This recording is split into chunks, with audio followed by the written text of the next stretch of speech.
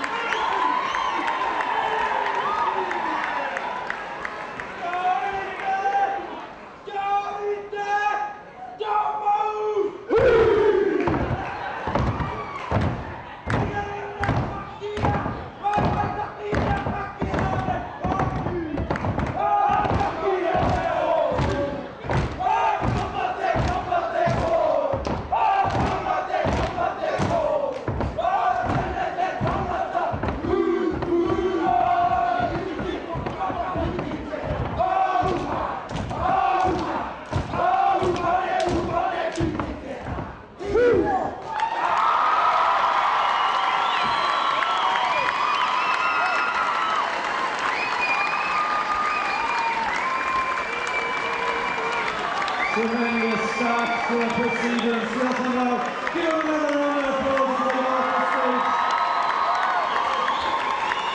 Especially the two little scary keys